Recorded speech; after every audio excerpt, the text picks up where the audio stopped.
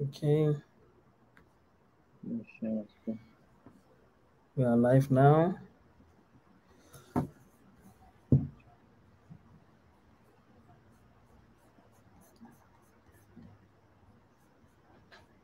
Can you see my screen? Mm, not yet.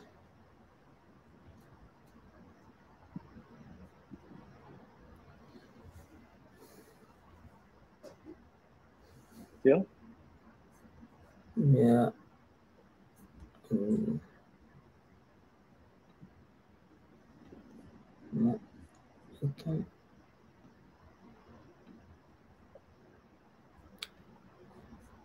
I'm trying to toggle it around here to see if I'm the one to kind of make it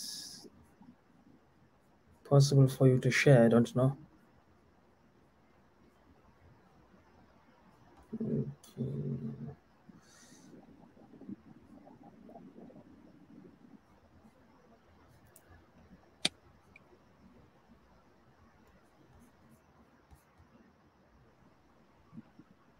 Okay.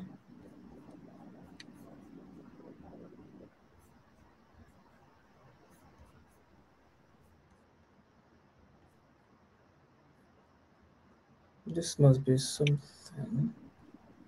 And it's showing display that you are sharing in your in your end. Mhm. Okay. Yeah, I can see it now. Yes.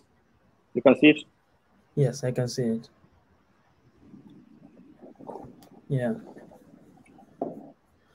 So yeah, and now it's it's kind of gone because it's it showed like uh like like What about now? uh I still can't see it because What I about now? I, I no I can see it because what it? happened yeah what happened was you appeared as Okay. two accounts and I added the account with the presentation and appeared then I was able to see your your your Okay. slides.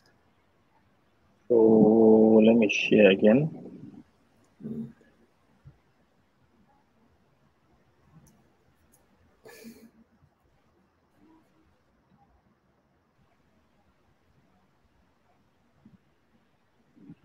Yeah. Can you see now?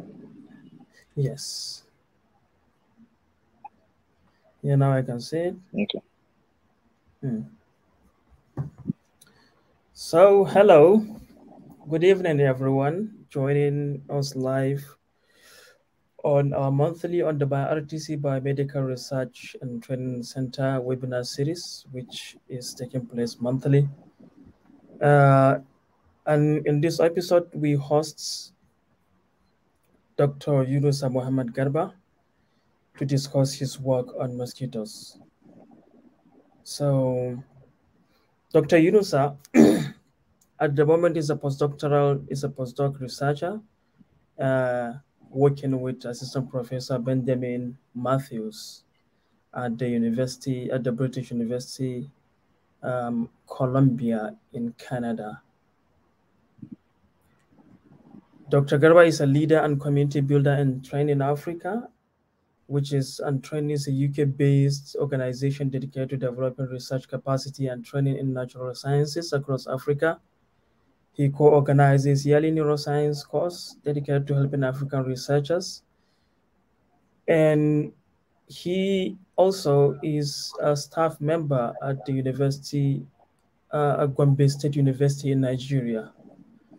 So Dr. Garba is among the few resource people we are having in Nigeria that were able to lay their hands on the training and are still getting training um, in the global the global world, and they were able to make their arms reach to see how they will impact the research and scientists in Africa, specifically in Nigeria. And this is one of the aims of establishing Biomedical Research and Training Center to see we have a state-of-art laboratory or a center which will make it possible for people to visit and be able to carry out research and be able to get mentorship. So we are really happy to have Dr. Yunusa today as one of our mentors in BioRTC, and that will also discuss, we'll be discussing about on the topic of eliciting the repertoire of chemosensory receptors involved in the oviposition behavior of Aedes aegypti mosquito. And uh, without taking much of the time, I would like to um, give the floor to Dr. Yunusa to carry us through the to his, uh, his work. Hello, everyone. I hope you can hear me. Okay. Uh, Zaid, can you hear me? Yes, I can hear you loud and clear. Okay. Yeah, so hello everyone, and uh, thank you for the opportunity. And uh, I would like to thank specifically the um, organizers of this uh, webinar. And uh, I would like to um, also thank the, um, the funders of this uh, uh, BioRTC Center in uh, UOB, Nigeria, and also the audience. And I would like to indulge you and thank you for even tuning in to listen to me talk. So um, without taking much of your time, I would like to um, go through what I've been doing for the past one and a half years uh, in Canada. So like uh, the rightly said, I'm a, Human Frontier of Science um, long-term fellow and uh, Michael Smith Foundation for uh, Research uh, trainee. So from the University of British Columbia and also a proud from the State University lecturer. So thank you very much. So today I'm going to talk about the elucidating the repertoire of uh, chemical receptors involved in oviposition behavior of Aedes aegypti mosquitoes. So when we talk about um, the repertoire of these uh, receptors involved in opposition of oviposition, we uh, first of all let me give you um, an overview or an introduction as um, uh, to this Aedes aegypti. So Aedes aegypti are deadly vectors of uh, arboviral pathogens. They transmit viruses that can cause diseases like yellow fever, Zika, and dengue. And the only female mosquitoes uh, feed on blood so they can obtain the nutrients they need to develop their eggs. So they lay their eggs in carefully selected areas uh, or sites that is not harmful to their uh, offspring. Aedes aegypti are extremely adaptable. So I will show you why they are extremely adaptable the reason is they are found breeding in a wide variety of urban and rural aquatic sites associated with human habitation. And also, they kind of um, go to all these intricate places where you left um, uh, discarded plastic or any uh, uh, container that can contain water, anything that can contain water for, um, for more than a week. They can thrive there, can be able to lay their eggs and also kind of uh, emerge as adults and further uh, transmitting these viruses across uh, the populace. They may likely require physiological and behavioral adaptability to thrive in this area, so they need to adapt to the situation because not, not all the species where they are found that the water that they kind of um, lay their eggs um, is the same. So um, what we are looking for, what we're trying to understand is how do they kind of um, uh, lay these eggs in different constituents? How do they know that this water is uh, different or is okay for them to to to lay their eggs? Since they know, they kind of uh, try to understand that these waters or these uh, constituents are not harmful to their uh, offspring before they lay the, the eggs. And Aedes aegypti, they they kind of look at these cues from these waters and uh, substrates to make sure that okay this place is okay for me to leave my egg and uh, so this is as you can see this the green uh, area here is the um, uh, the fundamental niche for the Aedes aegypti and uh, the gray background is where it is unsuitable for them to, to live but as you can see that this green is becoming like you know uh, is kind of um, going up uh, to areas or areas where uh, you don't find them.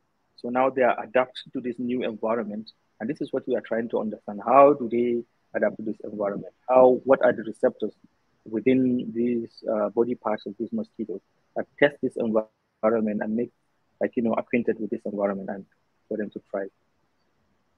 So our main question uh, of the study is we aim to understand how these Aedes aegypti mosquitoes explore and become accustomed to different ovulation sites in order to lay their eggs. So we break it down into specific objectives. So it's to establish, first is to establish wild caught uh, colony from distinctly different oviposition sites, and also to determine the level of specialization to these distinct oviposition site water constituents, and also to quantify the behavior of wild caught Aedes and their laboratory conspecifics before, during, and after egg laying behavior. So first of all, for us to achieve that, we went to uh, the northeast of Nigeria in Gombe. We went to four different sites with distinctly different types of breeding sites where we collected these uh, uh. As you can see that we collected from um, uh, construction areas. different types of breeding. As you can see that we collected from uh, so we collected from uh, gardens, we collected from, uh, you see, from homes and also from rock holes. And then we quantify the constituents uh, within these constituents, like, you know, present in these uh, waters. And we found that there are these mosquitoes there. So for us to confirm that these mosquitoes are the same, we need to uh, indulge in like you know understanding what um, distinguish them or what uh, what species are they. Before we reach that path, I would like to take you and show you like you know the life cycle of this Aedes uh, aegypti mosquito. Um, the Aedes aegypti mosquito start from let's say the, the chicken and the egg uh, issue, but let's start from the from where the uh, the female mosquito bites the person and takes in blood, and this blood helps in female uh, uh egg production. And uh, after this um, blood feeding, the mosquito moves around find a suitable place to uh, lay her eggs. So it finds where um, a place where there is a water with a receding shoreline, for example, where the substrate is. So that place is a bit um, dampened so the mosquito touches this place and then goes into the water and then uh, uh, and lay the eggs on the substrate. And also this, uh, as the water increases, it like, you know, engulfs the eggs and then the eggs hatch and then becomes, um, the eggs hatch to become this uh, larva, the first lava stage. And then it goes through the stages uh, to the fourth um, larval stage and then emerge as um, the pupa. From the pupa, it emerges to the adult. And then from the adult, they mate again and they find humans and they bite and the cycle continues. But that's how, that's why it's very important to clear all this water from all these uh, containers around your uh, environment.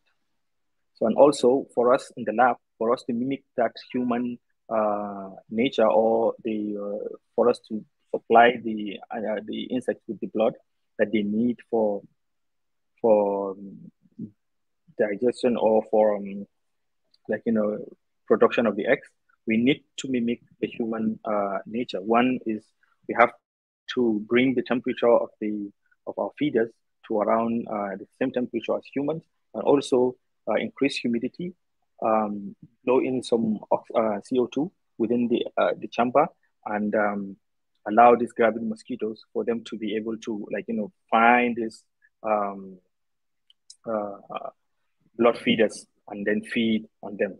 So so that we can be able to collect the eggs. So so that we can be we can do our further experiments with them. As you can see the mosquitoes are there like you know taking the blood. So first of all from the samples we collected we need to uh, identify these uh, wild caught species to know exactly what we are looking at and for you to do that, we need to look at uh, the morphological and do also a DNA barcoding. So for the morphological, you know, um, we have a, a, species of Aedes aegypti, and then we have the subspecies of this Aedes aegypti. And uh, the subspecies is Aedes aegypti formosus and Aedes aegypti aegypti. So these are the uh, mosquitoes. These are the main vectors of uh, these viral pathogens. Uh, like I said earlier, uh, Zika, dengue, and yellow fever. And uh, you can see that there are a bit uh, clear uh, differences in, in, terms of uh, coloration of their uh, body. And uh, when you go down deep into the um, looking at the tergites or the stripes within the back or the abdomen of the of the mosquito, you will see that there are like you know kind of clear differences. Pale scales represent tergite here in Aedes aegypti aegypti, but it's absent in Aedes aegypti formosus. So for you to confirm this after like you know looking at the morphological part, then you need to go into um, uh, the DNA sequencing. One of the things that you need to do is you need to um, one there are two methods so one of the methods is cytochrome oxidase subunit, um, uh, which is part of the mitochondrial DNA. Um, so you take this particular gene and then you you you kind of blast it against the uh, the genetic code of the whole um, uh, uh, species, so that you can, see whether there is um, a match. So if there is a match, you know that you have a aegypti. So first of all, and then the second one is the internal transcribed spacer, ITS2 which is uh, part of the nuclear ribosomal DNA. So um, that you do the same thing as the one you do and uh, you did in the CO1. And uh, here you can see that we did uh, the PCR and uh, the, they all aligned to, uh, here is the CO1 and all the species aligned to the CO1. And here is the ITS2 and all the species aligned to ITS2. So what we further uh, try to understand is to send for sequencing. And then we sent for sequencing, and then the sequencing results came back. We have 99% uh, um, uh, comparison, or uh, uh, and then we have in the whole in three species, but in the one of the species, it's only 60%. When we look at it, it shows that it is, not Aedes aegypti, it's Aedes vittatus, but they have all the characteristics of Aedes aegypti. But this one too is the, the same, is um, also um, a vector of uh, arboviral pathogen, but it's, non the main, it's not the main vector of uh, the transmission of these diseases. So one, uh, since we understand what type of mosquitoes they are or the, uh, the species, so what we try to understand now is to determine the level of specialization to this distinct oviposition site water constraint since we collected them from different sites, so we need to put them in a uh, put one mosquito in a situation whereby there are uh, is exposed to four different sites and see whether they can be able to um, to uh, um, respond or be kind of um, attracted to uh, other sites or it's only attracted to to, to its own site so that we can understand the generalization or specialization of these uh, mosquitoes. So for a mosquito to, to reach a gravid site, there are some conditions that need to be met uh, for this uh, for her to decide uh, where to lay her eggs. First of all, she needs to do a lot of uh, uh, understanding or probing of the of long range cues. Long range cues are one visual, olfactory, and thermal or humidity sensors to track these long range cues. for the visual, she needs to know like okay, there is the body of water there and also for olfaction, you know, um, odorants are carried by convection through air uh, to the um, for for the insect to like you know uh, to get in contact with. So they follow this uh, odor gradient to where this ovulation site is, and also when they reach this ovulation site or this water body sites, they kind of have to probe the environment. Is the environment solely water only? There is no shoreline, or is the environment, the temperature, is the temperature okay? Is the salinity okay? Is the pH okay? Is the pres- are there presence of tox- uh, toxic parasites? No. Are there presence of uh, semiochemicals from other conspecifics? Yes or no. So they understand this before they lay their eggs. That's um, uh, some tricky part of how these mosquitoes do. So it's they're very like you know intelligent in, in, in, in that sense. I, I can say, but but for them to probe this, they need those receptors from their appendages that get in contact with this uh, oviposition site to actually know uh, that uh, they are in the right space at the right time. So for us to understand this, to quantify or to understand these events that happen during this um, uh, uh, uh, behavior, so we kind of um, use a modified octopi, which is um, uh, which is a flexible setup for monitoring small animals. And this is like an open source um, design that we adopted and then we uh, we created ours in the lab, and um, so so we put the mosquitoes, like I said, we expose them to four different sites uh, water, and then we allow the mosquito to choose this site for the, to lay the eggs. So and then we quantify the movement around this area. You can see on this side, at side B, the mosquito mostly spends her time within in that space because maybe it's more suitable for her to to thrive.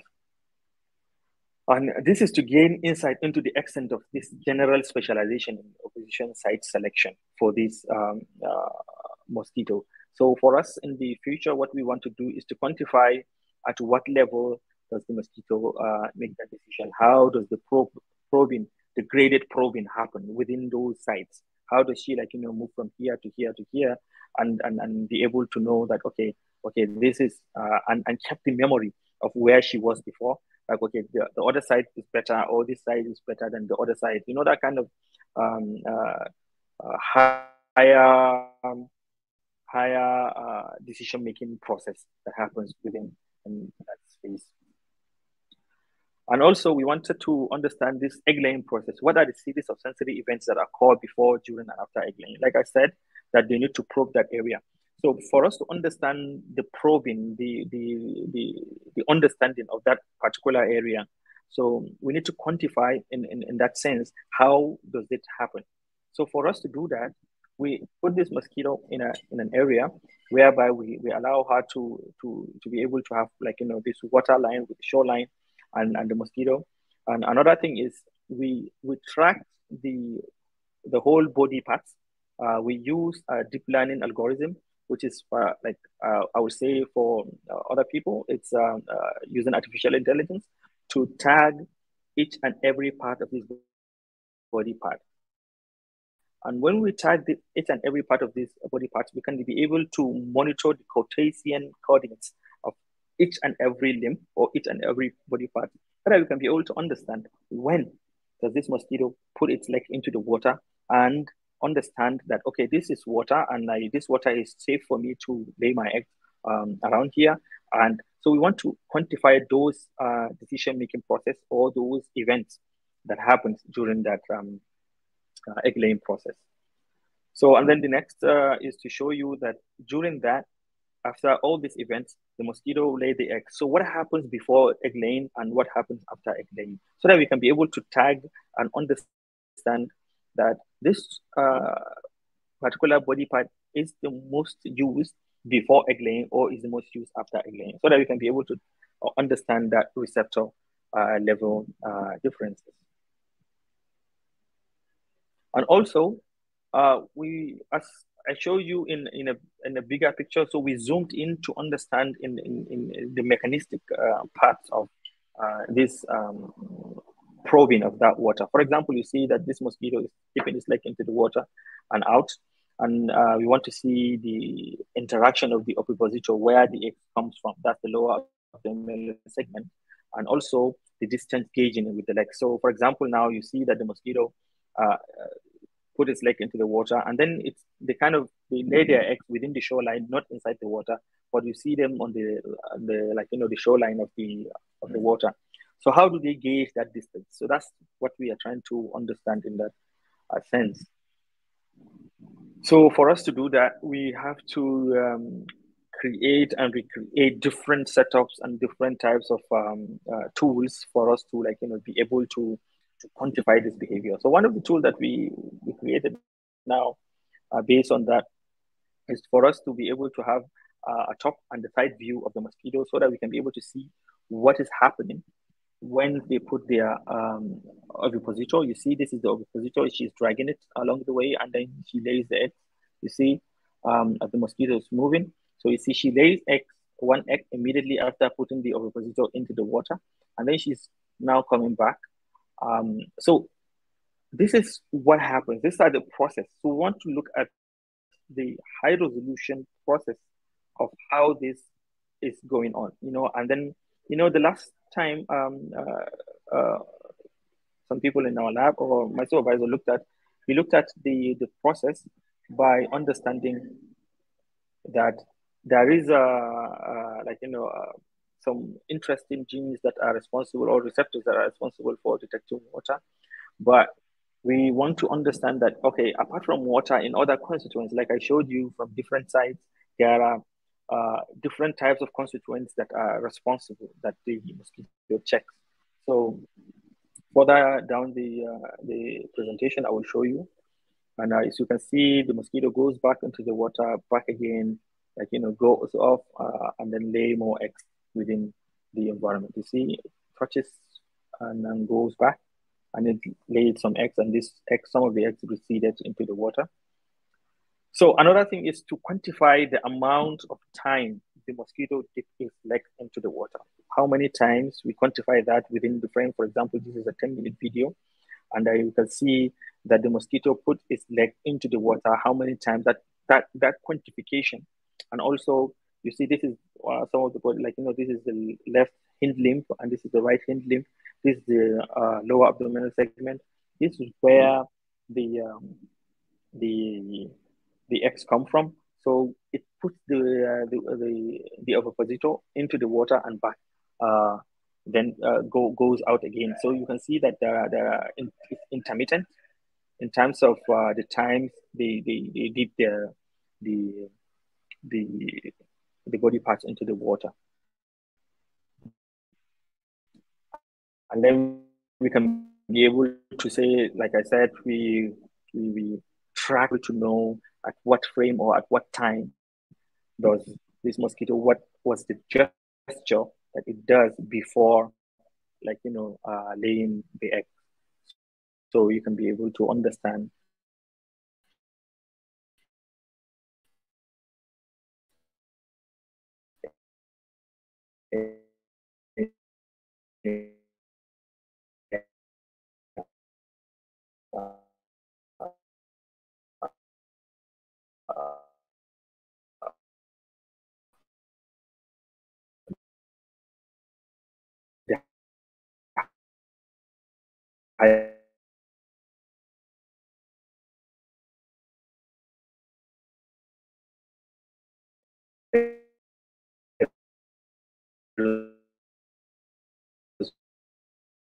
and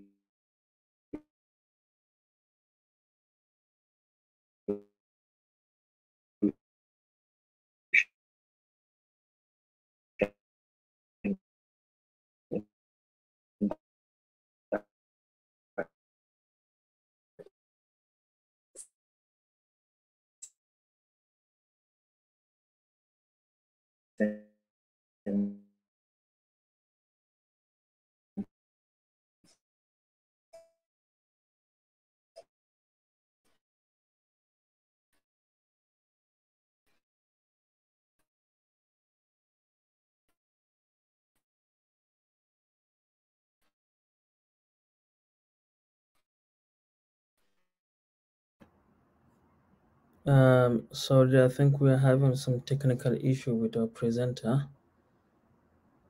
There's a little bit problem with the probably the network.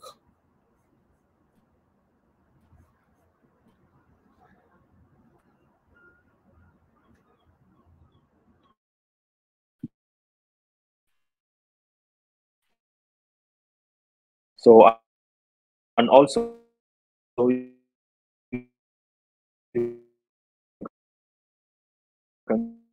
be able to quantify it in terms of how many times uh, these uh, body parts touch the water.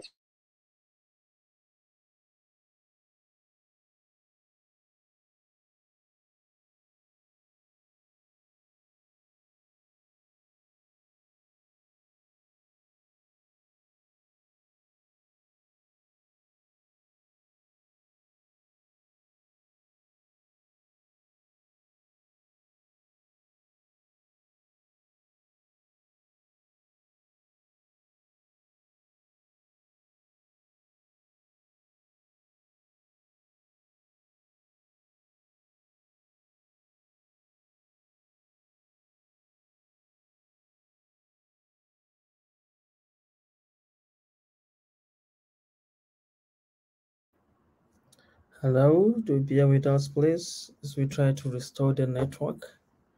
of our presenter. I think he's having some technical um, problem.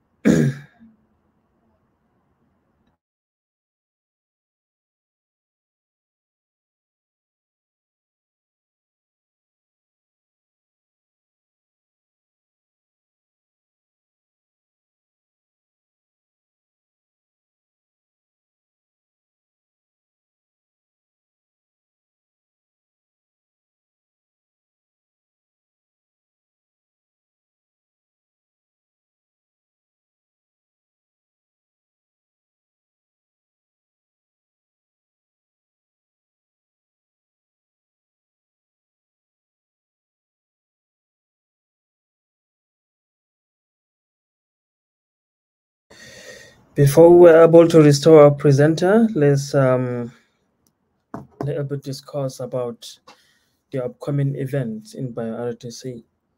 So as we know, Biomedical Research and Training Center is a center established purposely to provide a state-of-art equipment, um, make the environment which is in, in Africa, which is a standard laboratory or standard research center capable of giving, providing, um, of, of housing the necessary equipment required to do modern science. But then, apart from that, the most important thing in science usually is not usually the equipment, but the mentality of the scientists and the ability of us, dedication of scientists into research, ability to ask questions, and ability to, to look for for mentorship, ability to kind of answer questions that are really troubling the society. Uh, just a moment.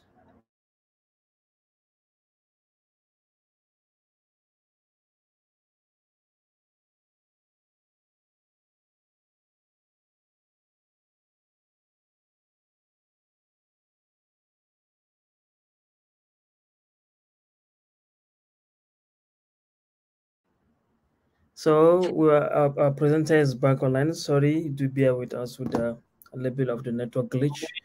We'll since, continue. Since when? yeah, I think uh, some minutes. yeah. Yes. Uh, some minutes. Yes, some minutes ago. Yeah, where not this exactly? Particularly This the one? slide before. Yes, yes, this slide, particular slide. Yeah, this one. This one? The last movement, yes. Okay. Where you have the last Okay. movement. Okay. Like this? Yeah, we have done that. I've had this. Yeah, we've I think two slides. Okay, this. so Yeah. okay, yeah.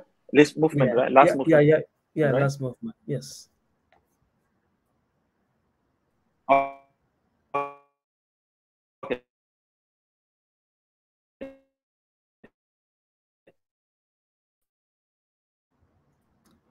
Uh, I think we still can't hear you very well. I don't know. Yeah. So okay. Yeah, so okay, thank you. Sorry for that. I didn't realize. Uh,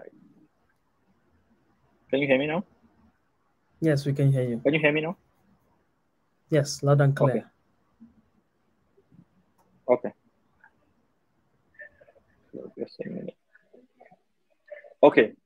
So this lower abdominal segment, it's uh can you hear me? Yes. Okay, okay, okay.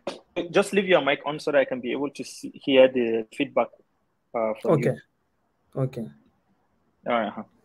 So yeah, so the lower abdominal segment, uh, like I said, we tracked the uh, Cartesian dis- uh, uh, coordinates, and so we can be able to track uh, this and show the, the movement within over time and space, and be able to know what happened before uh, egg laying and also after egg laying. So, and we can also quantify the amount of time. See, this is um, uh, the the two legs uh, behind uh, two hind legs, and also this is the uh, lower abdominal segment where it was interacting uh, with the water. So you can see that are more times uh, the legs were into the water than the lower abdominal segment. That's where the, the X comes from. So to understand that, so we need to further probe into understanding those particular receptors that are important in detecting what is where. You know, uh, so for example, here we I marked uh, some places and and, and put um, like you know, for example, these are the tarsi, this is the lower abdominal segments, and this is the proboscis, and um, within that there are embedded uh, receptors. That's when you when the mosquito put the uh, one of these uh, mm, appendage into the water, can be able to sense the constituents, and these constituents are enormous. Like I showed you, we collected these uh, mosquitoes from different sites, and all these uh, sites have a distinct characteristic constituent. And for the mosquito to be able to quantify and say, okay, this is okay for me to lay my eggs, um, I think uh, it's worth like you know understanding the repertoire of these uh, uh, receptors that are embedded within there.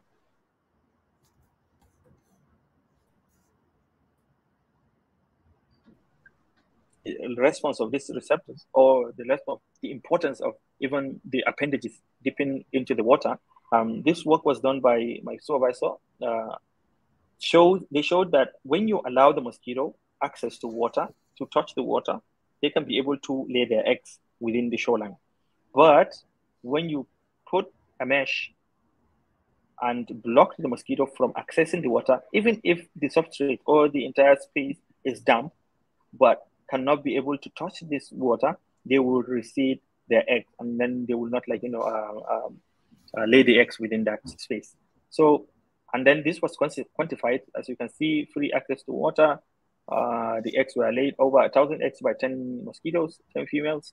And also this is uh, uh, the ones that were not uh, allowed to touch the water.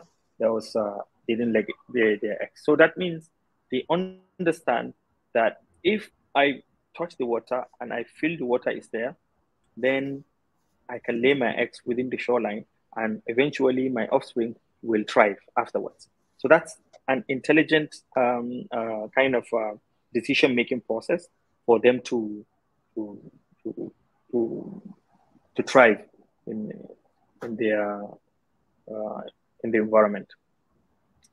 So for us to understand what type of receptors are there, so there is a like uh, my supervisor in his former lab worked on on this using CRISPR-Cas uh, modification, this CRISPR-Cas9 uh, genetic uh, knock-in, uh, strategy to build a genetic tool for labeling and imaging this uh,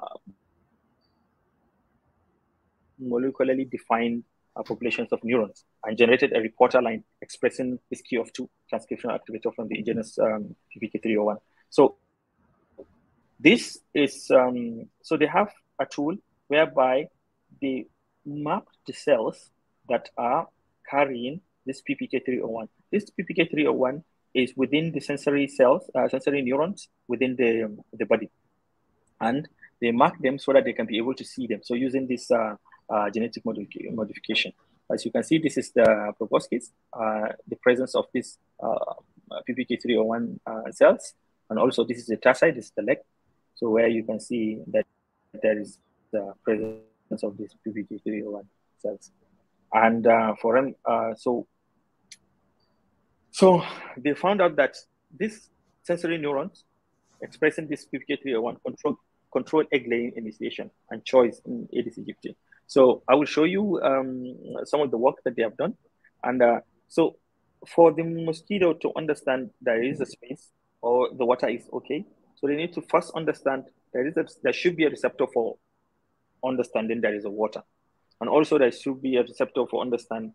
Then there is like a parasite or um, any other chemicals that is harmful or that is like, you know, okay, or that is the presence of other conspecific larvae and all that, so that they can be able to gauge and understand that, okay, this place is okay for me to lay my eggs and uh, or, or not.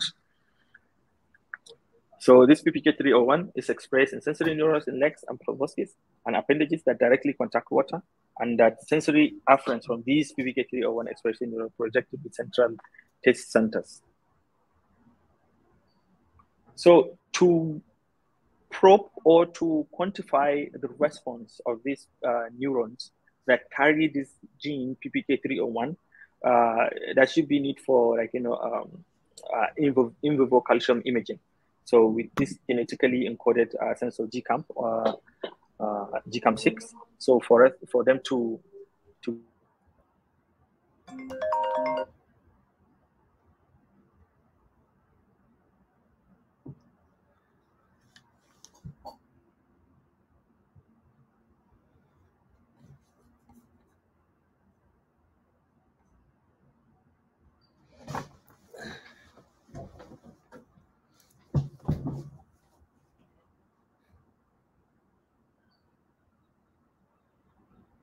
glow while they are stimulated.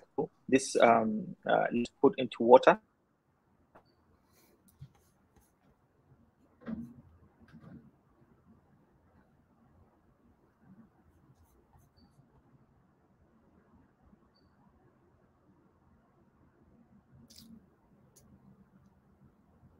Um, I think we're still having a little problem with the network. We apologize for the inconveniences and the network glitch. So that, that is um, like you know a, a, stimulation of water or anything a stimulant at uh, like you know when the water is just uh, like you know pure water uh, and then or fresh water and then when you increase the level of like you know salt concentration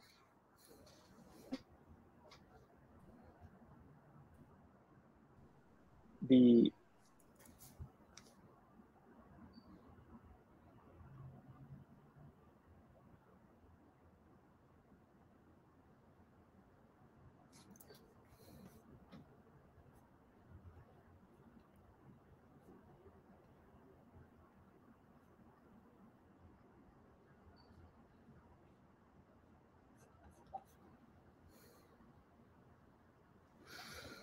So I think the network glitch is persisting and uh,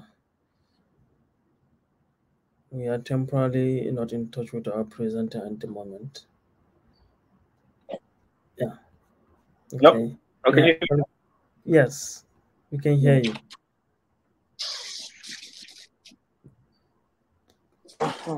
Yeah, let me share my screen. Okay. In sorry, it's uh network here in Nigeria. Yeah, network in Nigeria. It's, yeah. It's yes, we're online. You can see the screen. Yeah. Yes, there here? we are. Yes. Okay. Okay. So like I said, um so to to probe uh, or to understand uh, what responds to what, so there should be there is uh, they, they use calcium imaging which is an in vivo imaging with their genetically encoded uh, sensor, uh, GCAM6, to record the uh, the activity or, or activation of these um, neurons based on the stimulant from uh, the liquid water, like you know from the from from whatever stimulant they, they, they put. So here, what they did was they put um, fresh water and also um, um, salt water in, in, in different concentration to see that uh, what is responding during this uh, activity. So here uh, in, in, in, this uh, plot here, what is shown here, this uh, calcium, uh, calcium response is when they just, when they activate with, when they just like, you know, expose the tarsi or the legs with water, there is an activity that shows, okay, yeah, there is an activity um, that the, the neurons are responding to, to water, but in when they increase, when they put a salt, uh, like you know, kind of mix it with salt. Uh, I just want to put it like as really um, naive as possible. To they put uh, salt here, and then there is an increase in in this uh, activity. Um, so that means uh, the activity is kind of doubled um, based on the increase of salt. So to understand why this happened, they knocked down the uh, PPK301 gene, and then there was like you know there was no response. Uh, here, like so the the graph This just this is sh- just showing this here is just showing the quantification in, in plots, showing that this plot uh, there is no any activity as you can see here, and uh, this is from the wild type. As you can see that there's a lot of difference between the two, but when they increase the salt concentration, that this activity increases and is still there uh, from these uh, neurons. They keep responding. So that means there is um,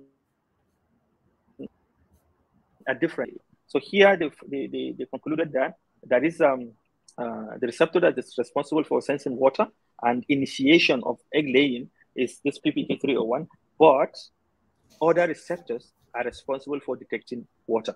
So that's what some of the guys in the lab are probing at the moment. And what I'm trying to understand for me is what about other constituents? What about other elements within the within the the, the constituent water? So what uh, how, how can we uh, look at all this the repertoire? So using this same technique, that's how we are going to look at dif- different um, uh, uh chemicals within those breathing sites that we collected the water from. And the future direction of this is to understand the level, um, receptor level response to these breathing sites constituents. Uh, for example, the elements within there, the pH and other components, and also to quantify any expression or sequence of chemoreceptor gene function cross tissue involved in egg laying in strains with divergent opposition site preference. Because here, in this number two, um, uh, if the oviposition sites are distinctly different, how does how does the uh, the receptors compensate and just like you know allow them like you know to say okay this is okay and we can adapt to this place and and and, and the, the the changes in in, in this uh, response. So what is happening within that within that space? What happened uh, when you expose these mosquitoes to to new sites they are like you know kind of expression of uh, other receptors within that uh, so that's what we are trying to understand. So thank you very much. I would like to acknowledge my uh, supervisor, uh, Ben Matthews, and also my collaborator, Nicholas Tocho, and, uh, and then my collaborators in Gombe State University, Ezra Abba and Kennedy Yorio, and also the entire uh, Ben Matthew Lab members, and also acknowledge my funding bodies, and also specifically Gombe State University for um, training me and pushing me out, um, making me a better person. Thank you very much. Thank you very much for the uh, wonderful presentation and a lot of insights into how mosquitoes are really uh, behaving. It's, it's really an eye opener. Um, once again, we apologize to those watching and those who will watch us subsequently for the network network glitch we we experienced during in the course of the session. Uh, the moment I think will be open for questions and I will indulge people to drop their questions in the comment section so I will be able to read them out.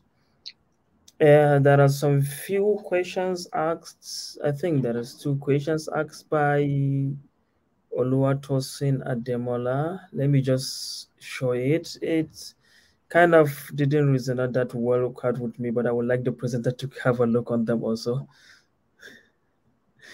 So what is the what is Aedes aegypti? I think uh, what is Aedes aegypti? Aedes aegypti is a mosquito.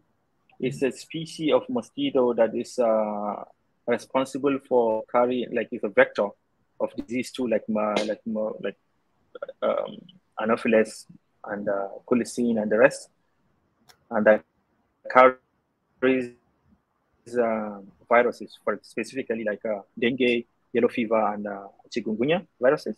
And uh, it is really harmful to mankind. Uh, as you know, like, you know, maybe you know someone that has done yellow fever or mm, has this dengue fever. So it was at some point uh, a really health issue, and still it's a real health issue. It um, presents the patient with hemorrhagic, hemorrhagic fever and other different types of um, um, symptoms. Yeah, I hope. And the same person asks another question. I think it's he asks, "What is the, what the etiology mm. agent?" So it's just it carries different viruses. This virus is leads to different types of uh, these diseases that I mentioned. Um, dengue, yellow fever, um, chikungunya. So uh, the so it, that's the etiology actually. So that's what causes these diseases, the, the virus. Yeah, thank you. So personally, I have one of one more of curious question to ask. Uh, in the course of your presentation, you showed um, you feed blood to these mosquitoes. I was wondering, yeah. uh, are those human bloods or is just animal bloods you use? Oh, these are sheep blood. Oh, they use sterilized, yeah, sterilized sheep blood. Actually, when we finish uh, feeding the mosquito, you can just clean them and put them in normal garbage because they are not um, harmful at all. Mm, so they have appetite yeah. for sheep, yeah. something like.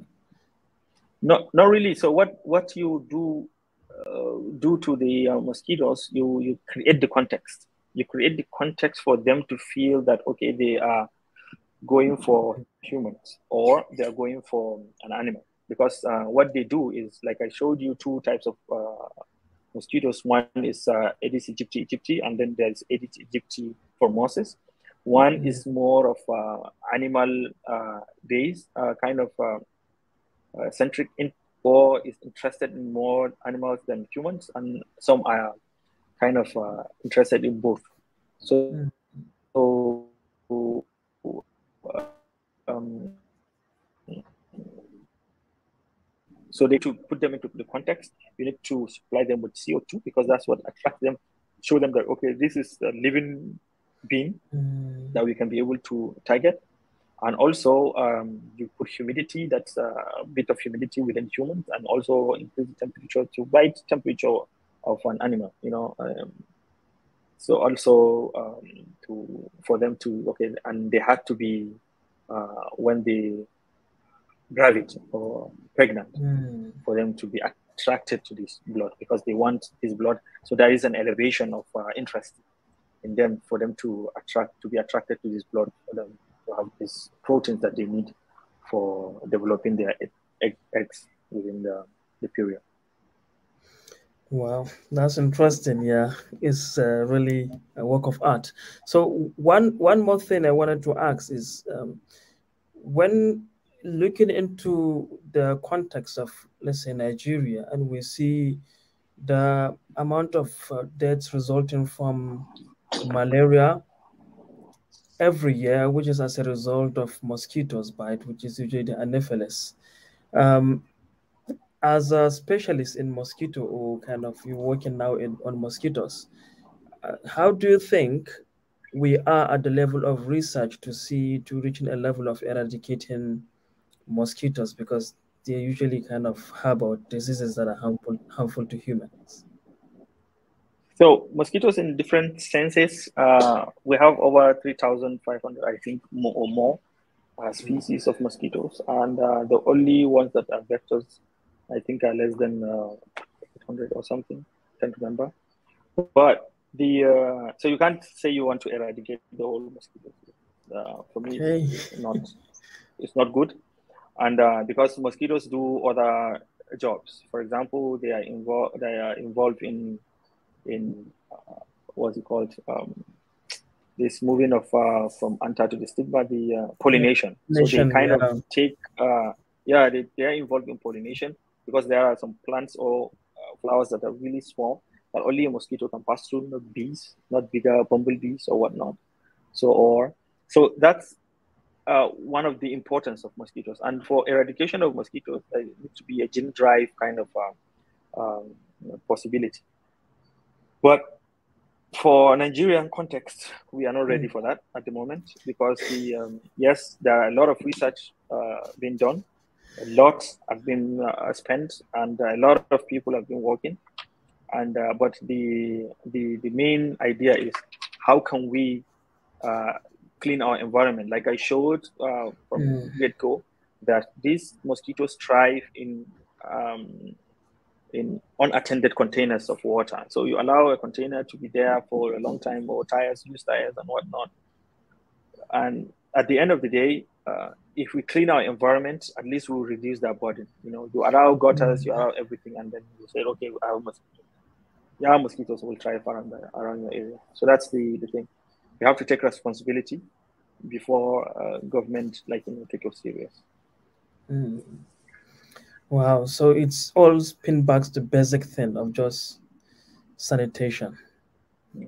So that is another question from Sam from um, Tijani Al Mustafa saying, What is distribution of Aegis aegypti in Africa, specifically Nigeria?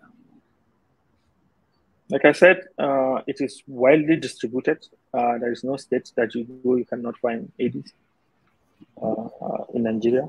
Like everywhere, there was a study done by uh, some people in, in University of Nsukka.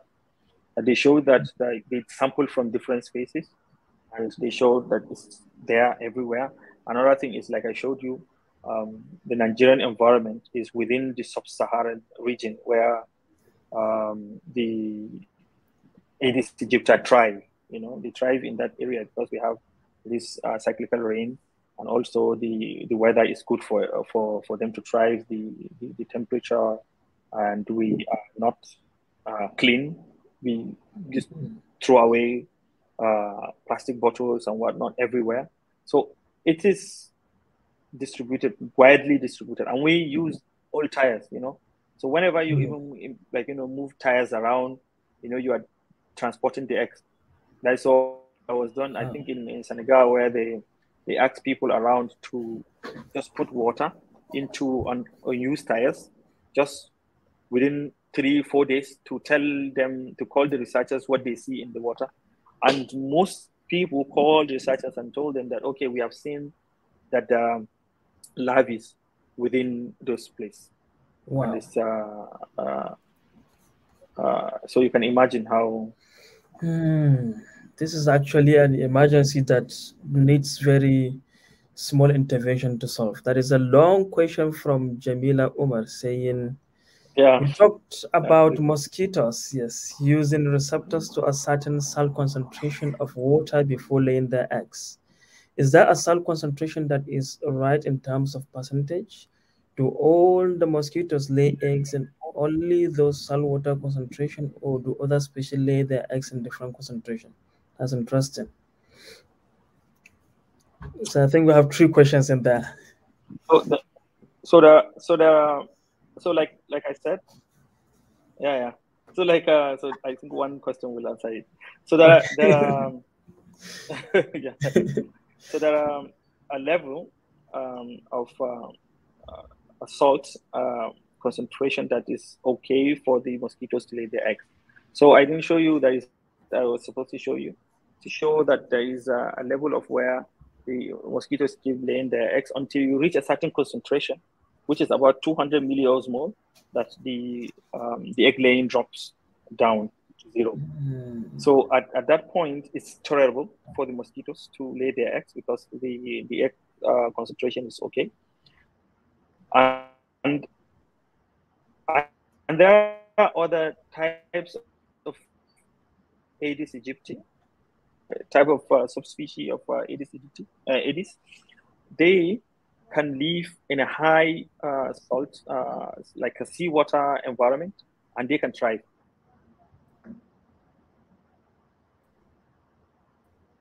With high a, a, situation where they reach that and they drop in, in, in responding or in tolerating the salt concentration. I hope I answered.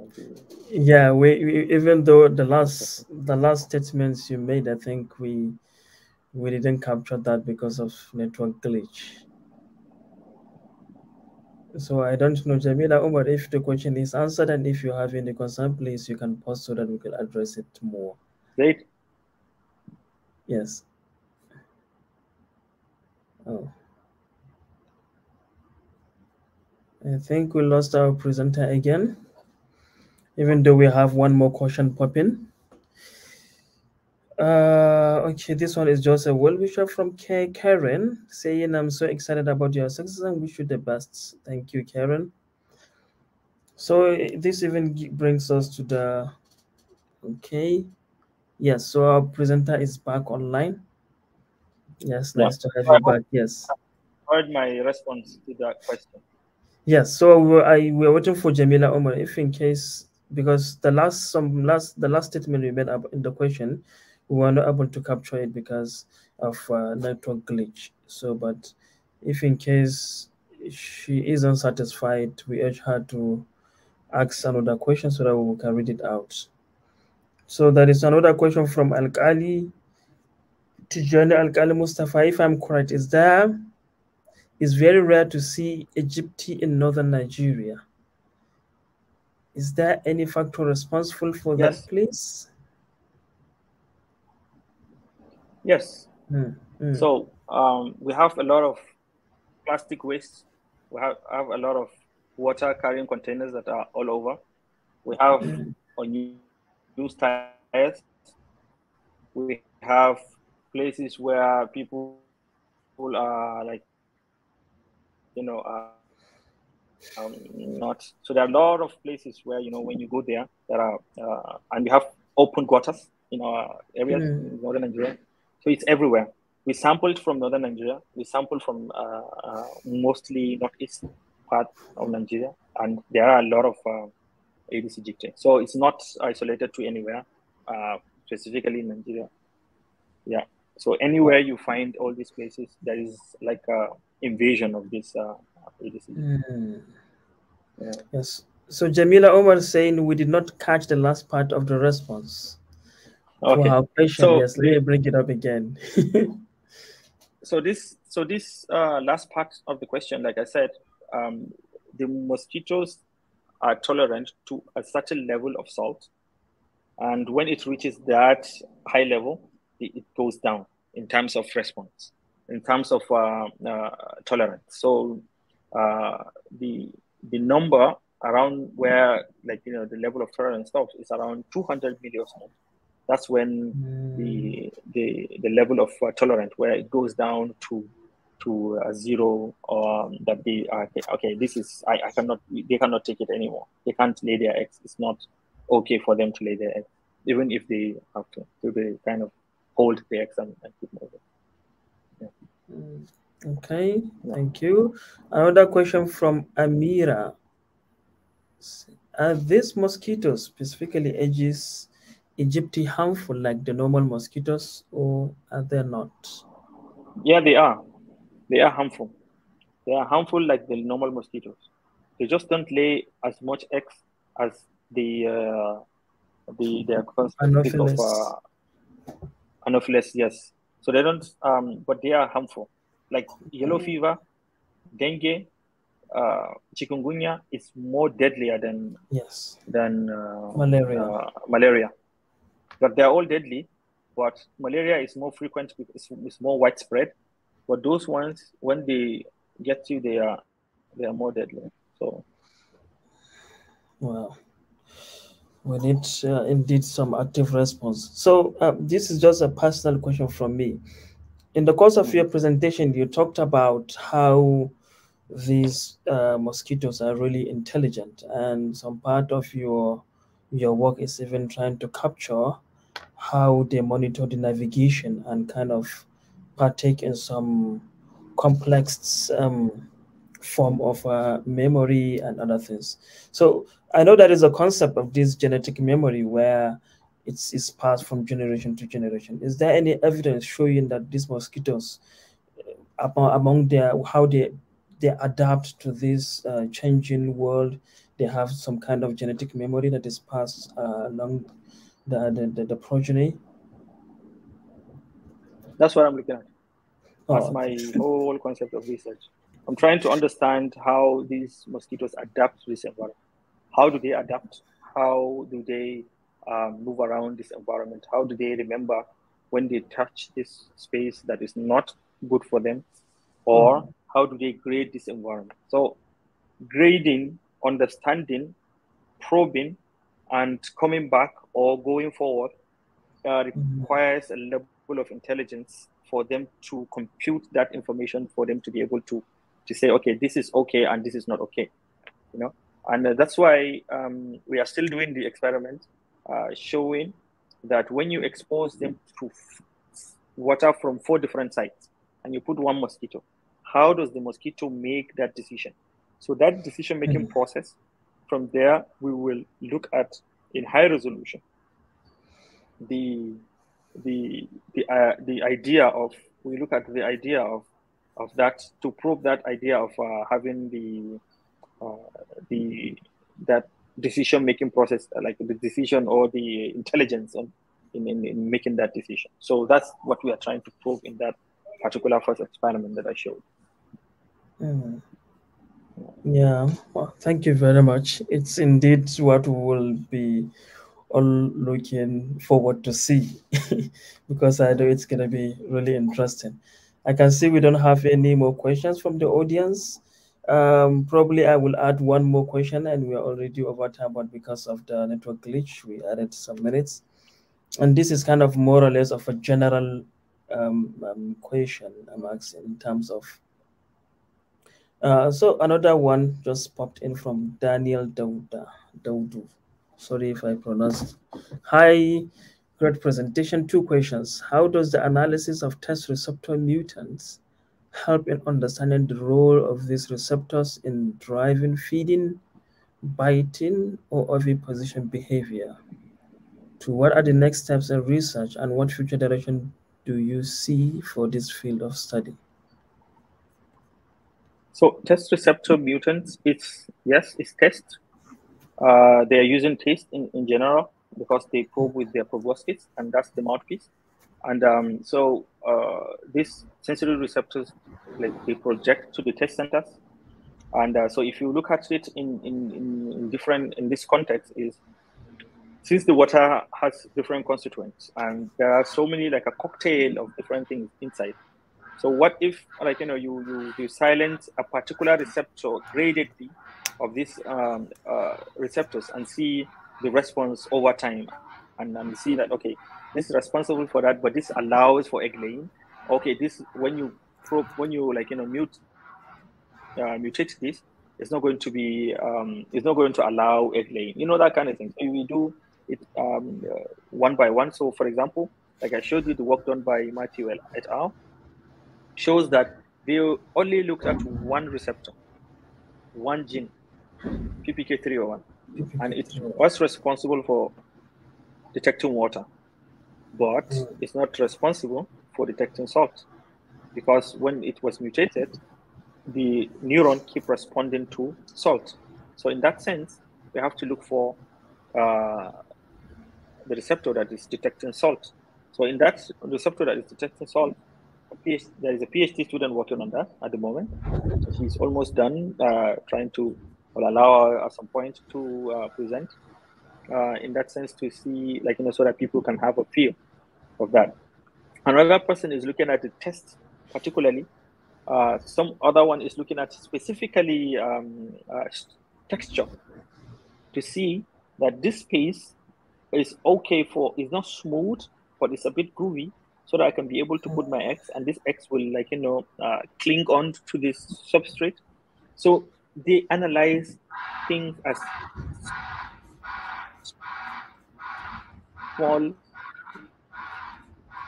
or as minute as the as how and for the future direction of this research that's what i just said actually. So is to understand in different contexts different receptors of different constituents of this water um, so that we can be able to know what and when to during gene drive to target um, in, in eradication or like, you know, in um, changing the behavior of these mosquitoes so that they can actually not bite humans, but they can just go and do pollination so that we can have more food.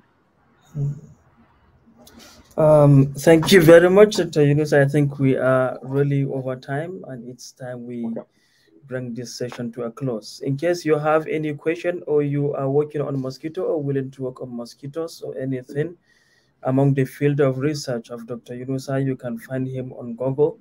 Just search his name and his details and contact details will appear. You can reach to him for mentorship, for advice, And in case you need anything that has to do with your work in BioRTC, we are open.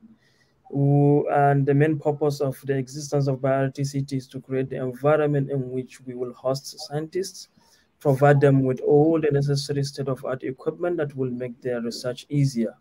So that is the sole purpose. Reach out for mentorship, out for advice, reach out for visitation. Follow us on social media, on our social media handles. We are available on Facebook, Twitter, and YouTube at BioRTC NIG. Bio, B-I-O-R-T-C, N-I-G. So thank you very much once again. Thank you uh, very much, the presenter, Dr. Yunusa Muhammad, for joining us today and all the audience that create time to listen to us. Look forward to the next episode of our activity, which will be another um, webinar next month. And we'll be having, and I would like to use this moment to regarding the, the, the our summer school that is coming up in August. We have a lot of applicants, a lot of good applications. Congratulations to those that were able to get selected. And for those that didn't get it, it is, that is, BioRTC is not meant for only summer school. It is meant, the summer school is just meant for eye opener. So that people will come and see what is in there and what things can be done. But most importantly is the visitation. You can reach out to the BioRTC. You can check our website on www.biortc.com, see what we are doing, see what we have. Send us email and we are open for you to come for visitation to do your uh, research work while we provide you with mentorship and a lot more. So thank you very much. With this we bring to the end of our broadcast today and i wish everyone a good evening bye